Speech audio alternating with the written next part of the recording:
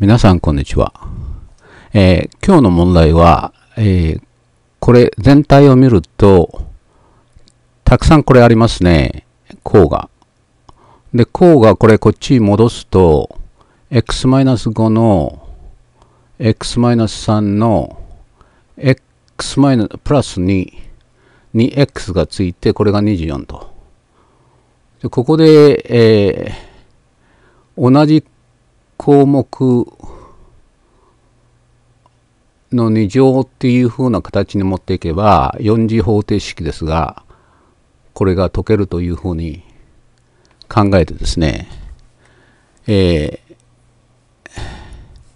どうでしょう？5と、マイナス5と2を加えると、x の2乗の、えマイナス 3x ですね。マイナス10ということですか？それと、x の2乗のマイナス 3x ですね。これとこれと。が24と。で、こうするとなんか、これをですね、x の2乗のマイナス 3x マイナス5プラス5というふうに持っていけば、ここれマイナス5のマイナス5ですから、あえー x の2乗マイナス 3x マイナス5を y とすれば y マイナス5で y プラス5でうまくいきそうですね。こうすると y の2乗マイナス25が24ですから、これで49。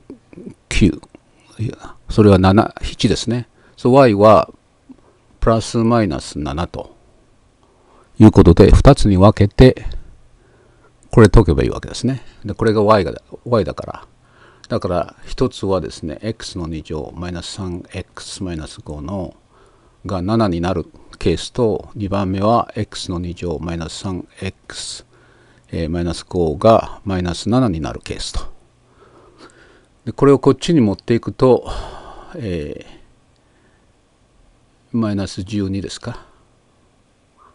だから x は2分の3プラスマイナス、えー9プラス、えー48っていうことですね。で、こちらはこれをこっちに持っていくと、プラス2になりますね。と x は3プラスマイナスの、えー9マイナス8ということですね。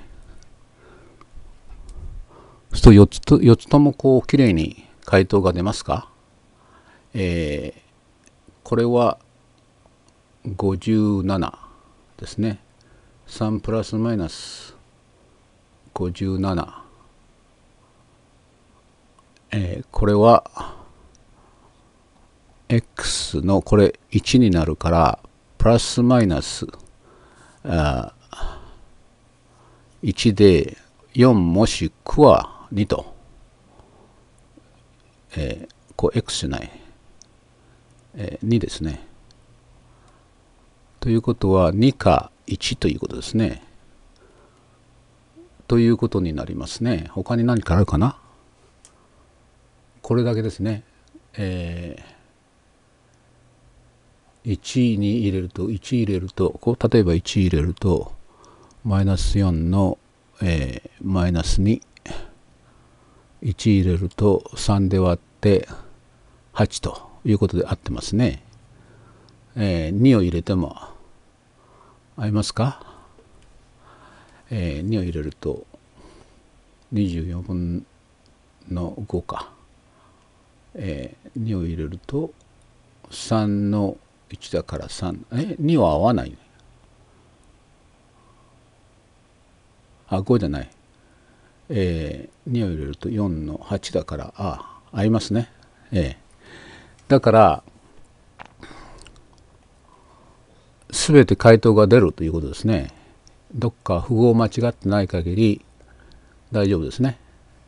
はい今日はそこまでです。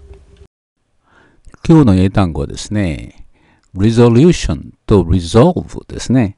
で、えー、dissolve っていうのが、dissolution っていうのは、あ分解する、バラバラにするあ、解体するということですが、resolution っていうのは、えー、問題なんか、こう、固まって、どっちとも動かないやつが完全に解決するという意味ですね。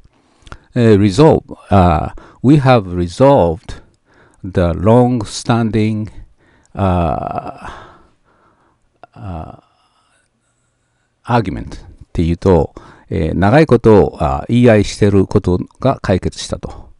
で、resolution っていうのは、the, the resolution for that problem was simple、えー、その問題に対する回答、えー、は非常に簡単だったというふうな言い方しますね。